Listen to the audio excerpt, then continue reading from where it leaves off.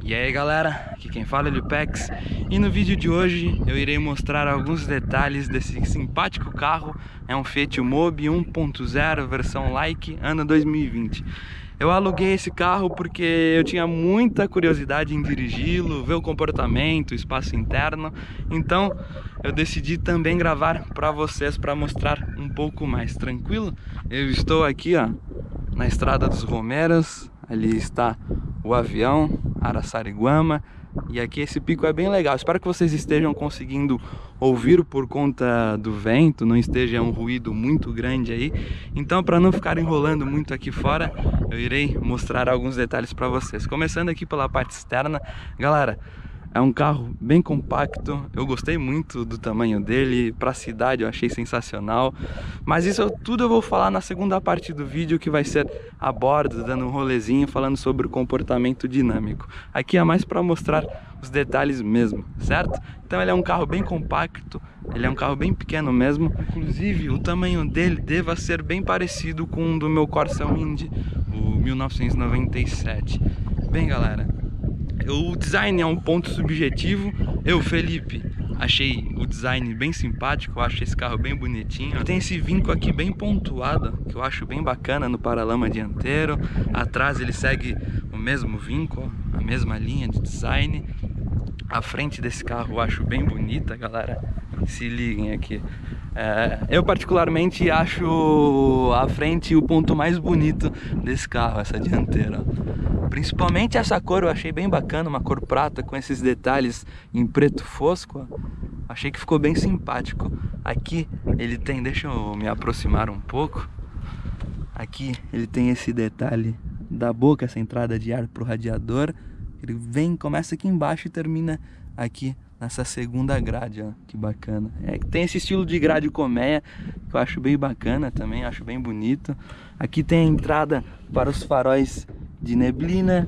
Aqui tem o logo da Fiat em vermelho, que a galera antigamente fazia bastante essa modificação, principalmente a galera do Palio fazia e faz até hoje é, essa modificação aqui, esse emblema nessa coloração. O farol normal com luz halógena, ele tem um design bem bacana, que ele começa aqui, ó, e ele puxa até essa parte aqui.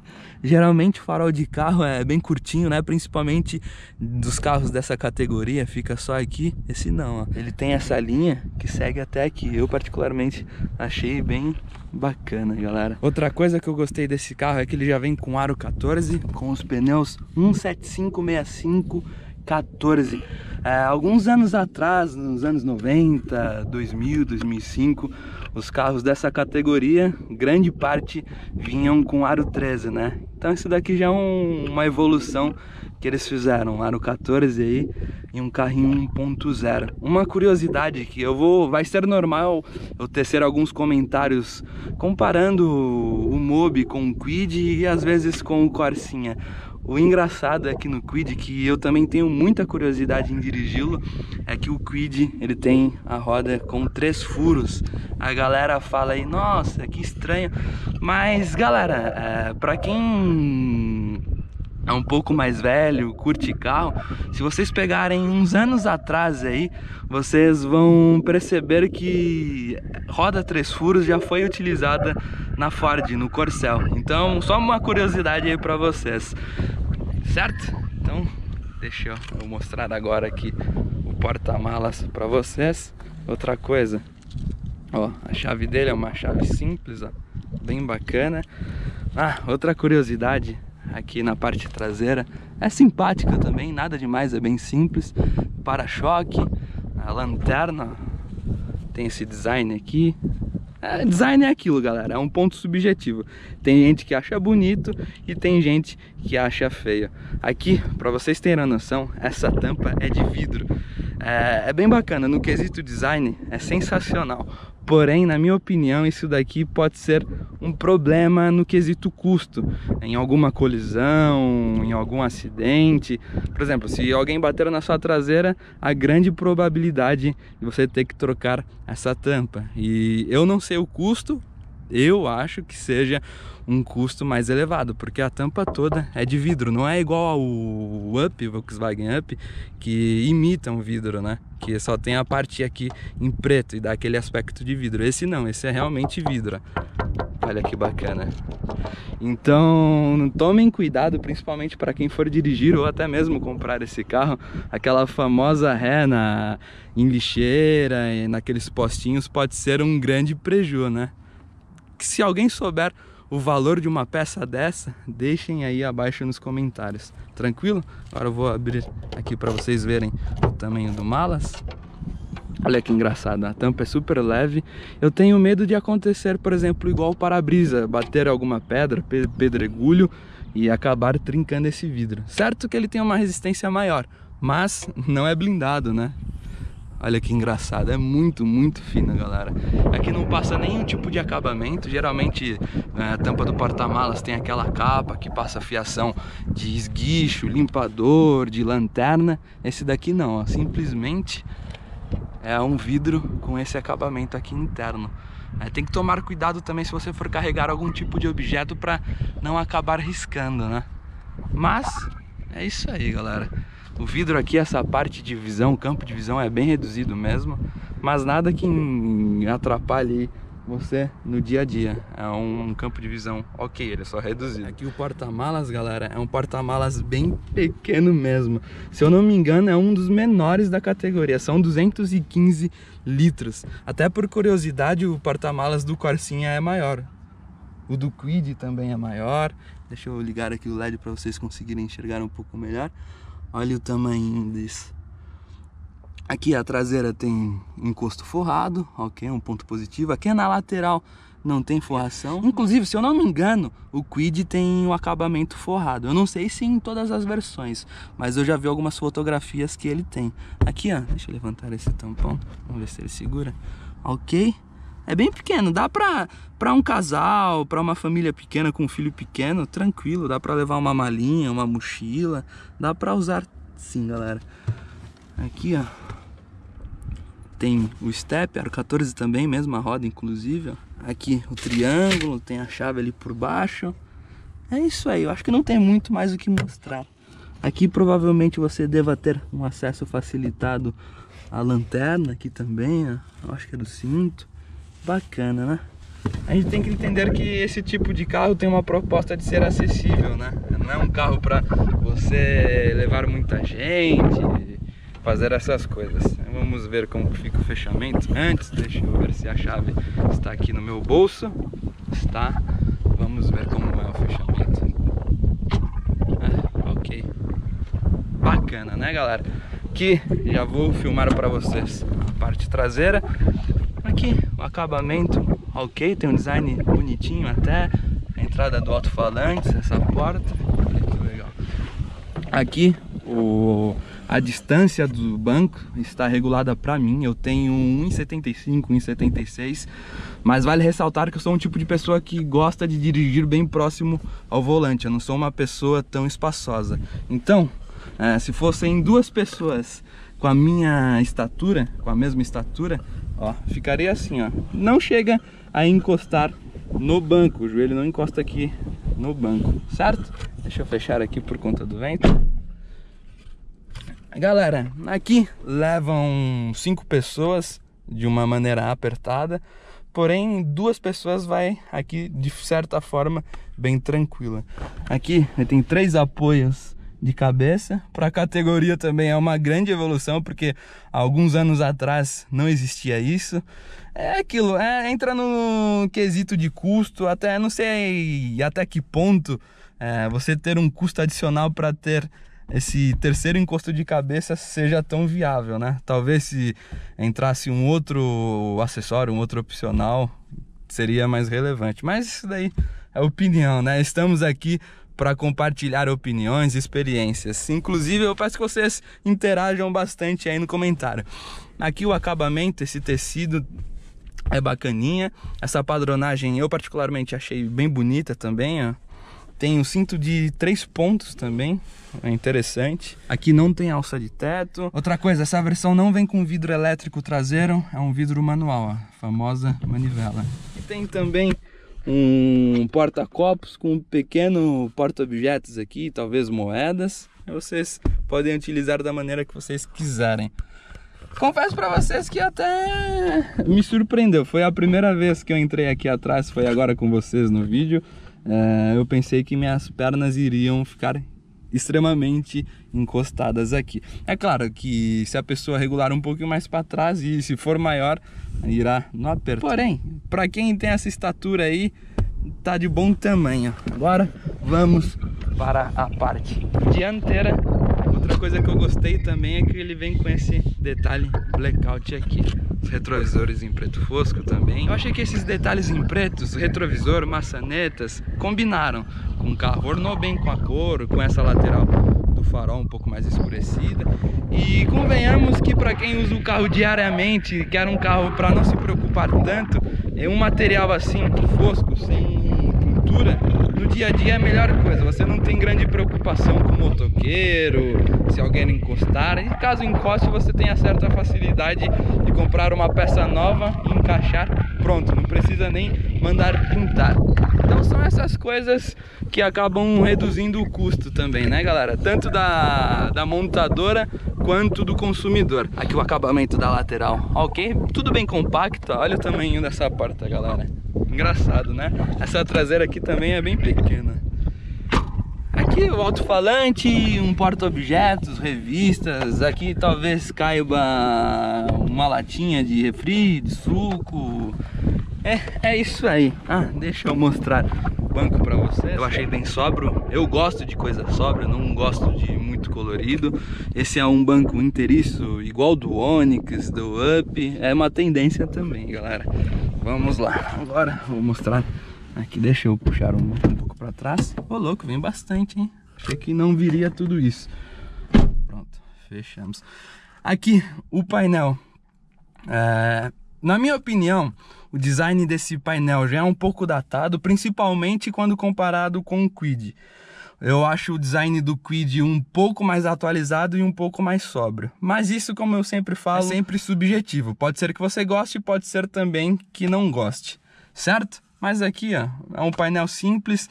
Galera, eu não vou ficar falando que é um painel de plástico, porque isso todo mundo sabe, não tem milagre, é a categoria do carro, então não tem como falar, oh, um acabamento macio, longe disso. Acabamento em plástico, porém é todo bem encaixadinho, galera.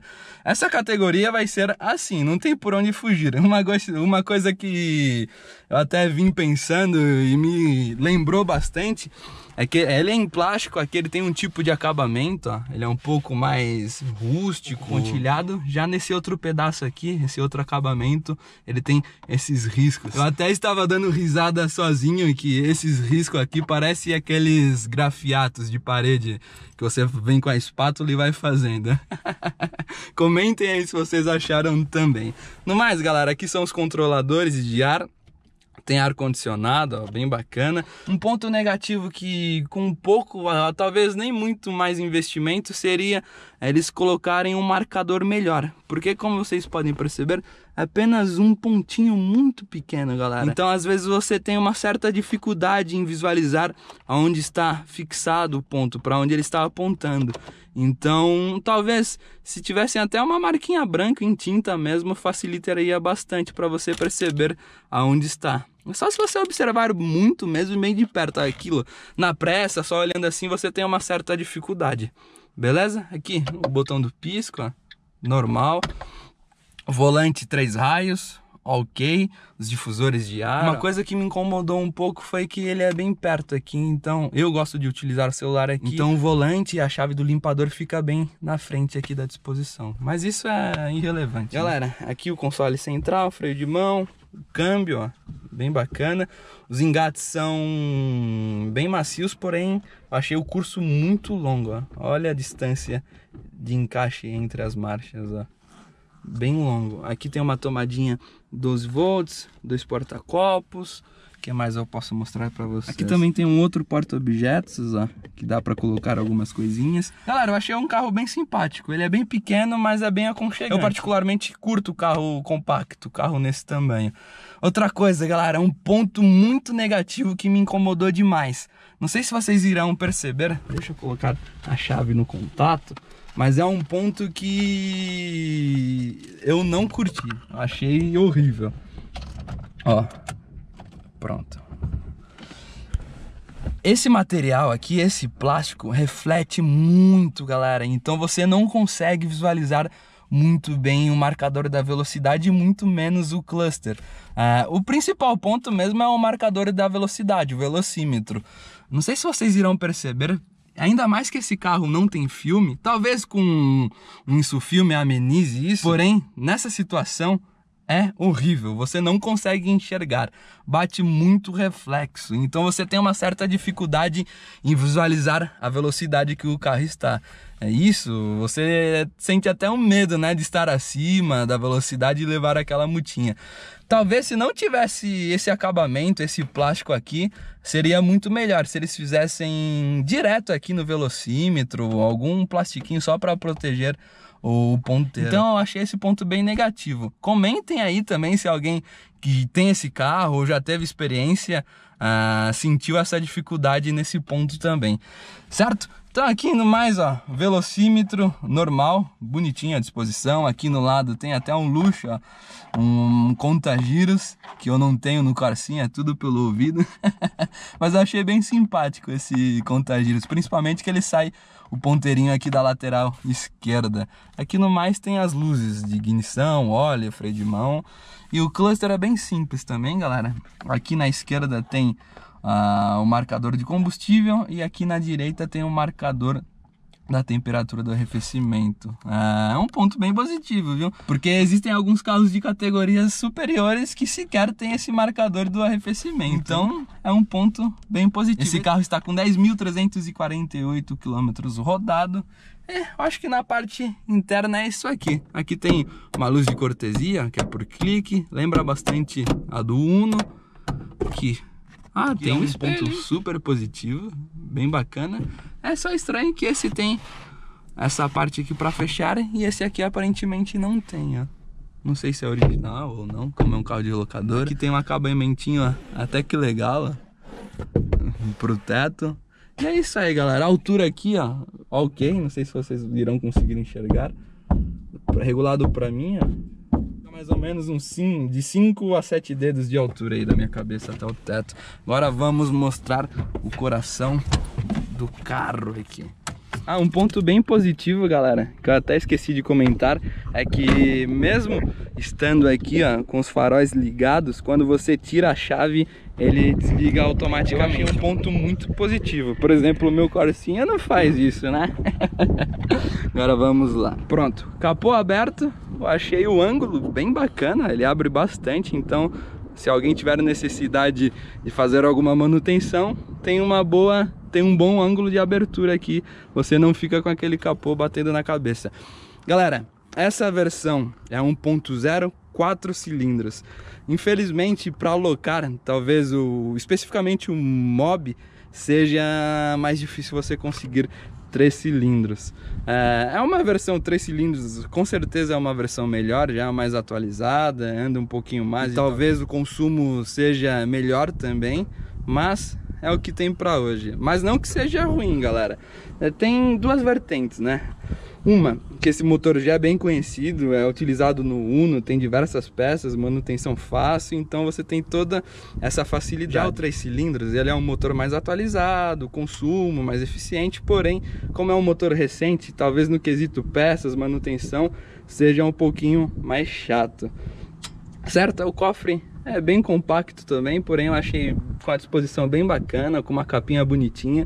Até brinco que o do Tracker é um 1.0 turbo, já é um carro de outra categoria, sequer tem uma capa dessa aqui. Se bem que talvez isso seja admissão, mas mesmo assim é, fica aquele do tracker tem aquele emaranhado de fios.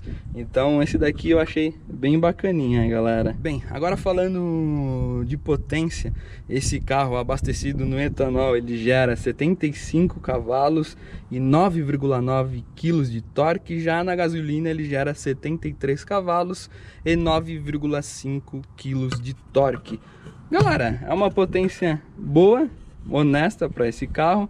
Ah, o três cilindros tem pouca coisa a mais. Eu particularmente achei esse carro um pouco pesado, mas isso eu falarei na segunda parte do vídeo quando eu estiver dirigindo, beleza? Então é. se vocês pegarem, por exemplo, o meu Corsinha aí, 1997, MPF, tem 60 cavalinhos. Claro que depois veio o 1.0 da GM VHC, VHCE, mas galera, o motor 1.0 não tem muito milagre, é isso que vocês vão ver. Ah, um ponto positivo, esse carro tem ABS já, olha que legal, tem essa, essa capinha aqui para bateria, ó, bateria Moura, sensacional. Agora vou finalizar o vídeo por aqui, espero que vocês tenham gostado dessa primeira parte, se alguém tiver alguma dúvida, ah, deixa eu ligar o farol para vocês verem que bonitinho que ele fica, o farol e a lanterna, aproveitar, né?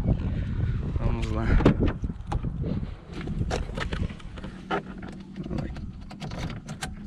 Pronto. Deixa eu começar aqui pela lanterna. Ó, bacana, né? Tem dois pontos, ó, duas lâmpadas na lanterna. Então fica bem iluminado. Olha que legal. É que provavelmente vocês não conseguirão enxergar muito bem por conta do sol. E aqui o farolzão, ó.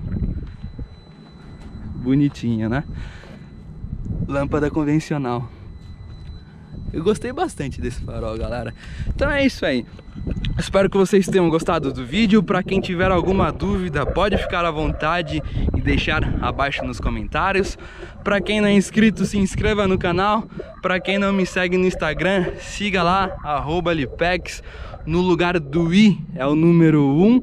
É, no mais espero que vocês tenham gostado. Se vocês quiserem mais vídeos como esses, de carros alugados e outros carros que eu tiver oportunidade de dirigir e gravar para vocês, deixem abaixo nos comentários. E se vocês tiverem alguma outra sugestão, algum outro carro que vocês queiram ver também, é, por exemplo, um Quid, um, sei lá, um Renault Duster, um Corsa C. Galera, fiquem à vontade para comentar, certo?